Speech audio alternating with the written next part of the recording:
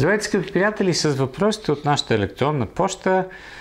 Алекс Митанов ни връща към историята на спорта с един въпрос за разликите в стила на каране на Михаил Шумахер и Тон Сена. Една тема, която мисля, че е вечна вече в а, а, нашия спорт. Сравняването в карането, в представянето на Михаил Шумахер и на Артон Сена.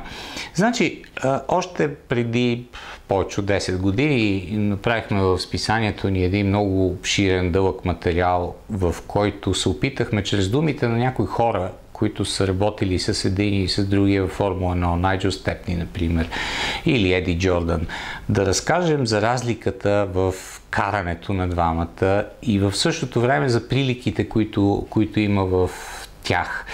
Разликата от 10 години горе-долу в най-добрите дни в представянето на двамата е свързана и с разликата в използването на техниката. Много трудно пряко можем да сравняваме стила им на каране, защото в крайна сметка те съвсем за малък период от време бяха заедно на пистата.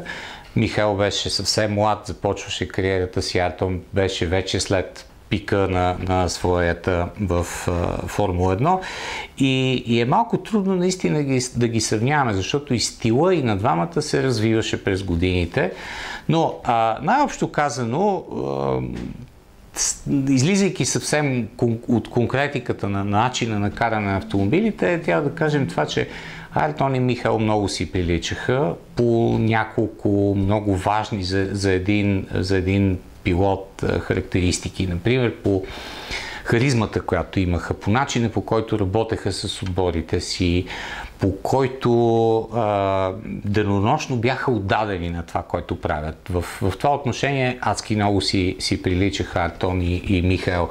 В начина по който, ако щете, се бореха на пистата, до последната обиколка по един и същи начин, винаги непримириви, винаги а, много агресивни в а, конкретни ситуации и а, като каране, в някаква степен, може би, трябва да, трябва да отбележим това, че и двамата, най-грубо казано, предпочитаха задната част да е малко по-нестабилна в сравнение с предната. Нали? Ако търсим точно конкретния отговор на, на въпроса, но много условно. При Михаил имаше една и винаги една игра с, с, с задната част, с подаване на газ допълнително. Ако помните, Бенетон бяха сложили ауспусите съвсем в началото на дифузиора, за да излиза един горещ въздух, с който той играеше. Нещо, което впрочем правеше и Фетел през годините с а, обдухвания дифузиор. Фетел, разбира се, като един духовен наследник на, на Михаил.